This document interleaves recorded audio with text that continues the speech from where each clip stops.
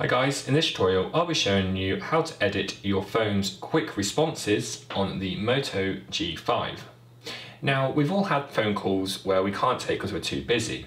Now while many of us will just wait for them to um, call out and just they'll hang up, you can actually send a quick response. So this will be a quick menu when you receive a call that a message or icon will appear and you can click one of your four pre-made responses which automatically are then sent.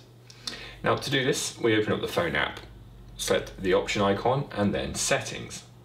From there, we're going to be selecting quick responses. So these are the ones that will appear. So if someone phones us, we can't take that call, these options will appear and we can press on one of them to send them a text message.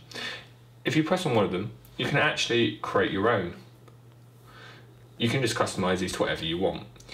Have a play around with them and see which ones you like um, and which ones you want to use. Now you don't have to use all of these, you can delete um, two or three of them if you just want one message, but like I said, they're very handy to use if you can't make it to a call, but you can just edit these and change them to whatever you like.